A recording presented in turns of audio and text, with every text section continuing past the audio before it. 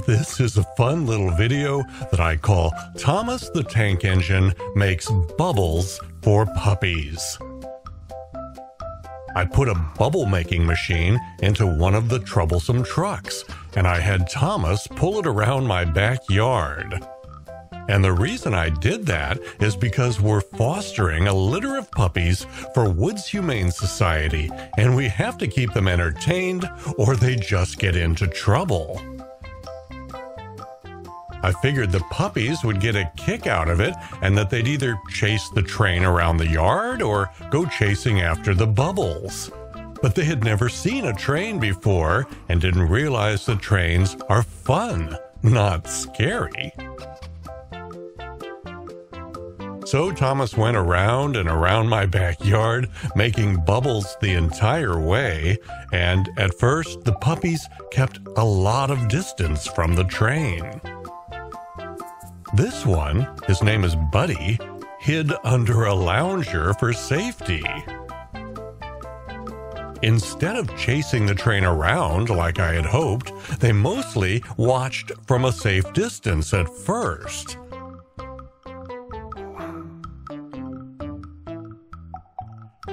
Buddy eventually got hungry, so he grabbed a few bites of kibble. But as Thomas and the bubble car passed by, it scared him off.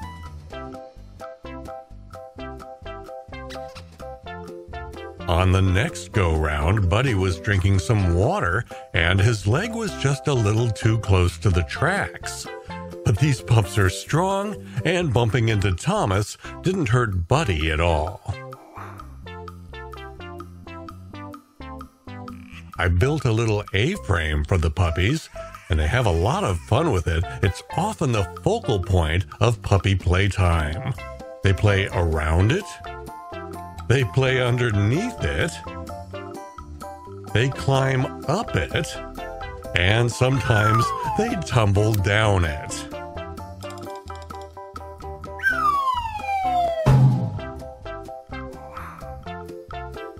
So I placed the A-frame over the tracks, making a little tunnel for Thomas, and I thought it might be fun for the puppies to play on it as Thomas came through. At first, the pups kept their distance, but it wasn't long before they started playing around the A-frame. And if you watch Buddy, the black and white pup, you'll see here he actually goes under the A-frame just as Thomas is approaching. Somehow he manages to scoot over out of the way just enough to let Thomas pass through. In this clip, there are three puppies blocking the tunnel, and Thomas does not make it through this time. He gets derailed. But that doesn't stop the bubble machine. It's still going strong. We call this puppy Beethoven because he has a bit of a resemblance to the dog from the 1992 movie of the same name. Watch Beethoven have a little run in with Thomas here. That's how you learn to stay out of the way of a train. This puppy is named Belle. She has learned her lesson by now, and Belle stays out of Thomas's way.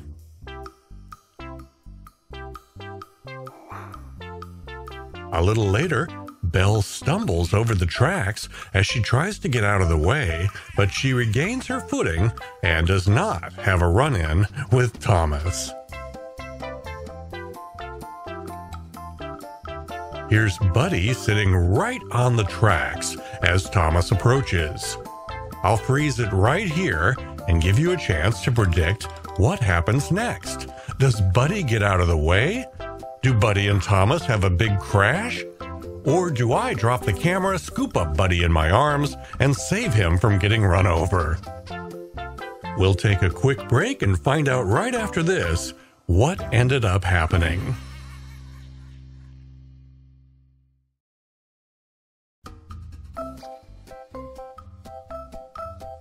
Yeah, Buddy's a smart pup. He knows that when a train comes, you have to get out of the way. This pup has an interesting way of sliding down the A-frame. Her name is Blizzard because of that solid white coat.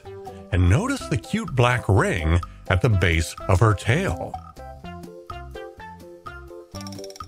This is my favorite pup in the litter. I call him Bob. He's got a graceful way of sliding off the A-frame. Belle is nowhere near as smooth with her technique as she tries to get off the A-frame when Thomas approaches. Maybe someday she'll be graceful, but she's not there yet. Beethoven just kind of scampers off when he notices Thomas approaching.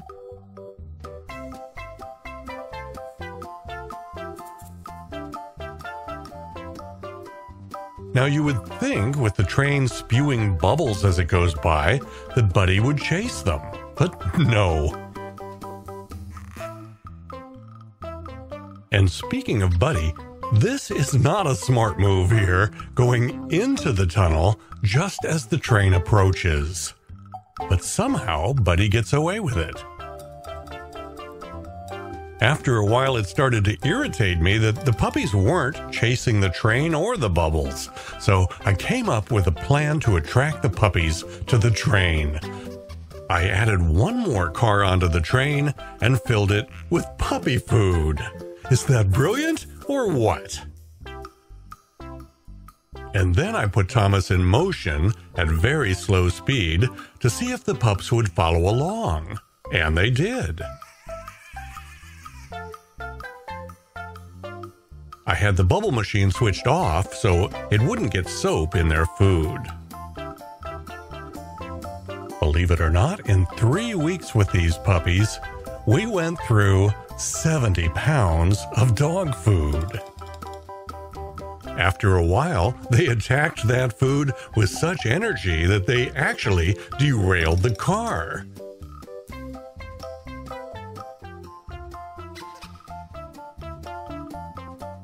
Then, because their attention was focused more on the train than it had been, I turned on the bubble maker, and for a moment there, I thought that the brown one was going to chase the bubbles.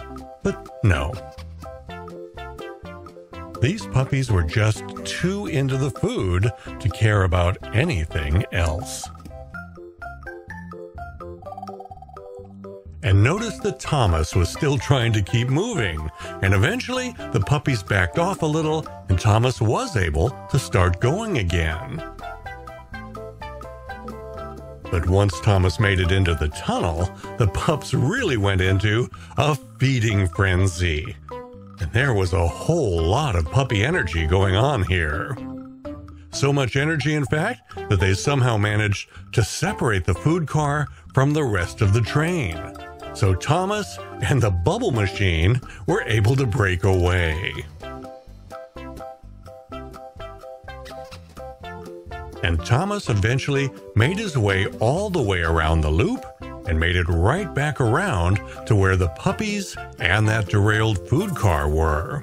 But there was no getting past them, that was for sure.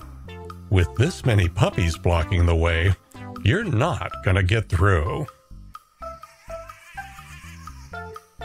They eventually finished every last bite of food in that rail car. Well, by the time you see this video, all of these puppies will have gone on to their new permanent homes. Five of them are being adopted by people we know, so we'll be able to stay in touch over the coming years. It was our pleasure to foster these puppies for Woods Humane Society. It was the sixth litter we fostered this year. If you enjoyed this video, whether it was because of the puppies or the G-scale model trains or maybe a little bit of both, hit the thumbs up button. I'll put links up on the screen to a few of my other videos you might enjoy, and if you don't want to miss my future videos about model trains, cruise ships, and all the things I find interesting in the world, subscribe to my channel and turn notifications on so you don't miss a thing. I'm Jim Zim. Thanks for watching.